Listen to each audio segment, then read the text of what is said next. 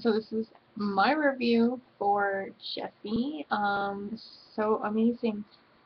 I can't believe the kids that she nannies are so spoiled and so negative.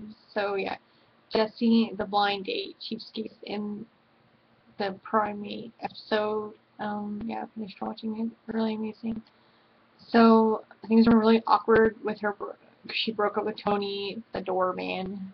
Um, and she's taking the stairs instead of going to the door. She's going like to the other side of the building with the kids. And I thought it was funny when um Bertram comes upstairs and like never break up with um the doorman. He's struggling and whatnot. And uh, Zuri Ross is so funny. She's like, Bertram, you got my popcorn instead of feeling sorry for Bertram. So yeah and all but yeah so it's kind of like really hard for her to overcome the fact that her and her ex you know work in the same building.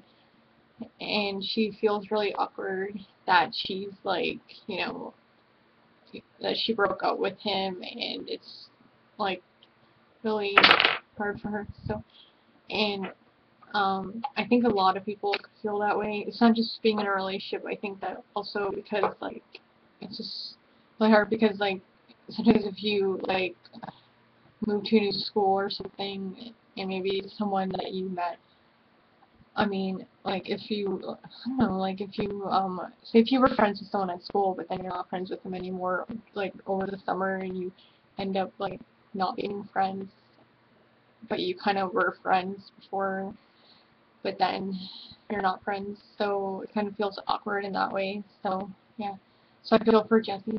So anyways, and the kids are so spoiled. Like they should like at least be nice to Bertram. He does a lot for them. So yeah, and they're really spoiled because they don't want to go up the stairs and they're tired of going up the stairs and they keep complaining. So let me know in the comment section below what are your thoughts.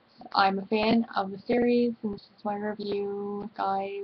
So I wanted to give my feedback a lot of people keep asking oh, where are you watching these episodes? Um, I don't know, you can check online, or if you have, you're supposed to get, like, I don't know, you can get, like, Disney Channel, like, you can order it whenever on your, like, TV, but if you can, I'm sure you can get Netflix or something, and probably go there and buy it, or, I don't know. Anyways, thanks again for watching, and have a great day. You can also check me out on Twitter or Google+, so leave me a comment there. Bye. Love you.